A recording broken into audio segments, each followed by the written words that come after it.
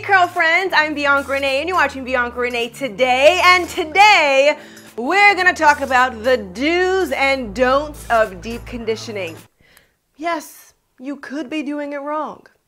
Okay, maybe not wrong per se, but there are things that you can be doing in your deep conditioning days to make sure you're getting the full potential of your deep conditioner. Now, I actually came across this article on naturallycurly.com, which is an amazing website with everything you need to know about naturally curly hair. There's some great articles on there, definitely recommend it.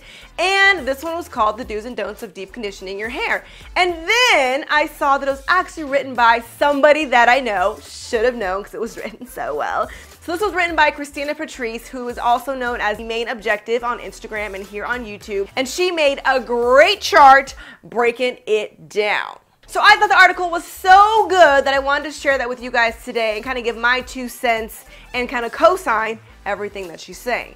I will make sure to put her full article down below in the description box. Make sure you guys read it and check it out. And follow her at Mane Objective here on YouTube and Instagram.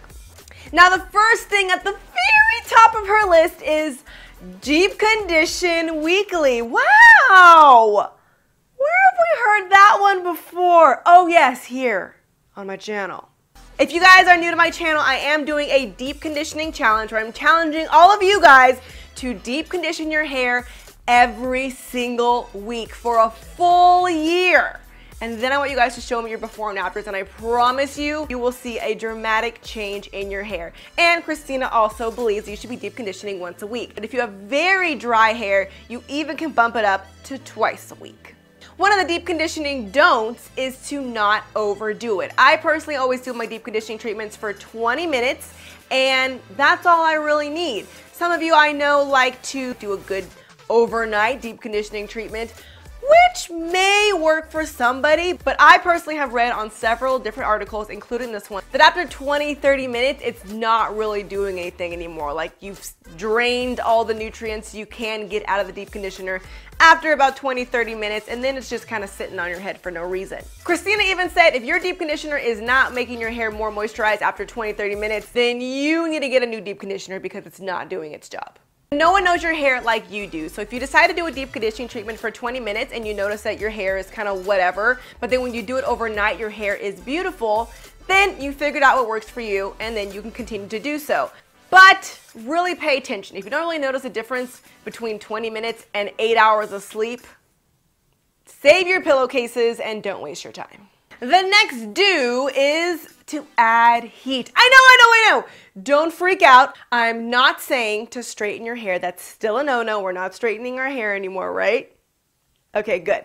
Um, but what I do mean is that when you are deep conditioning, it actually is okay to allow some heat to open up the hair shafts of your hair, allowing all the deep conditioner to actually penetrate into the hair shaft. Now what I use is a hothead. This is by Thermal Hair Care Heat Caps and it's a reversible flaxseed type cap that you can heat up in the microwave and then deep condition with this on, warming up your deep conditioner and allowing it to really penetrate in your hair. These are pretty affordable. I believe they're like 25 bucks. I'll put a link below for you guys, but I use this every time I deep condition. If you don't have a heat cap or own a big old steamer, another option that Christina recommended was to put your deep conditioner in a hot bowl of water. That's actually going to heat up the conditioner so that way you could apply it onto your hair while the conditioner is warm, also opening up that hair shaft and adding a little bit of heat to your deep conditioning treatment.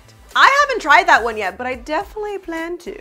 Another tip on this chart was to balance out your protein and your moisture.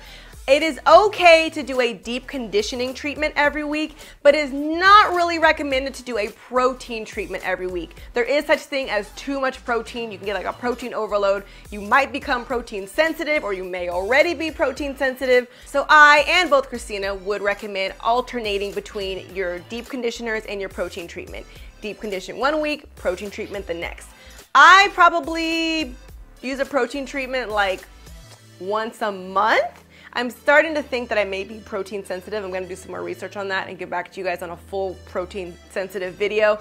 But I don't really need too much protein. Protein is really good if your hair has a lot of damage or breakage and you have really weak hair, you need to like build the strength of those bonds, that's when you want to use a protein treatment. Another big don't in the deep conditioning world is to not invite bacteria to your hair. Now you might be thinking, how do we do that? Now, if you're making a DIY hair mask that's not gonna last forever, make sure you keep that in the refrigerator and only keep it for about a week because then it will go bad and you don't wanna just add fungus to your hair.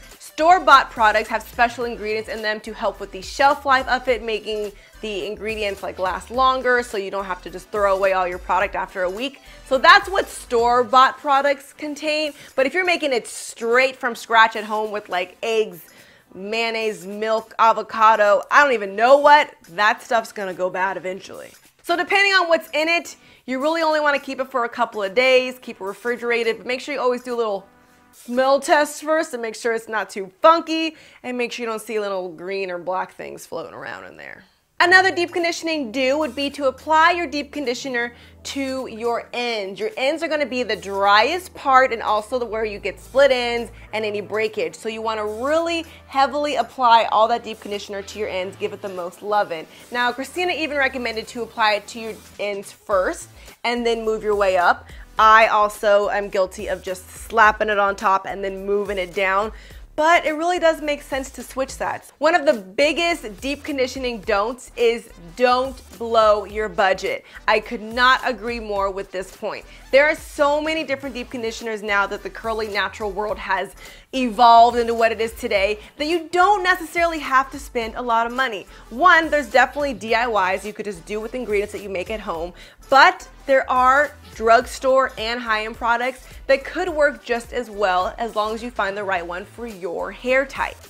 Don't just think that if you go to Sephora or Ulta that that mask is necessarily going to be a million times better because it's more expensive than the ones you find in the drugstore. If you're looking for a really good high-end deep conditioner, I'd recommend DevaCurl or Briogeo. And if you're looking for a affordable drugstore one, I'd recommend Shea Moisture, Cantu, or Maui Moisture.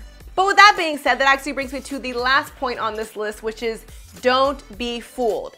Just because a deep conditioner is like $40, that does not necessarily mean that it's better than your $5 deep conditioner that you got at Walmart. You really need to pay attention to the ingredients. As you start learning more about what products are in your deep conditioners, you might just hold up your cheap deep conditioner next to your expensive deep conditioner and realize that they have the same ingredients. Now, I really think Christina nailed it on the head with this chart that she made about all the do's and don'ts on deep conditioning. The only one that I would personally add as a curly girl is to make your life more easier and convenient when doing your weekly deep conditioning treatments. I always like to do a hair mask and a face mask at the same time. So if you're gonna spend 20 minutes on your hair and you can't really go out or do anything, you might as well spend 20 minutes on your face at the same time. So if you follow me on Instagram or Snapchat, you will see that I always do Mask Mondays where you will see me put on a face mask and a hair mask and you're killing two birds with one stone.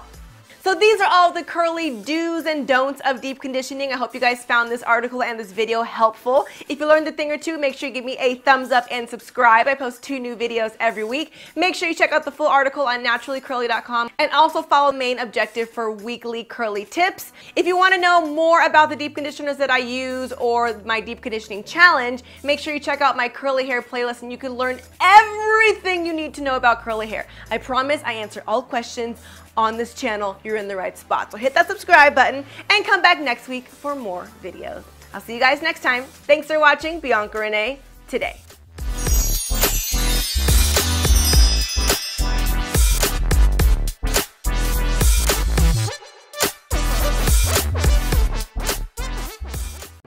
Please like, share, subscribe my channel And do not forget to press the bell icon so you will get the notification when I upload a video. And also, we are giving away free ebook to our first 10,000 subscribers.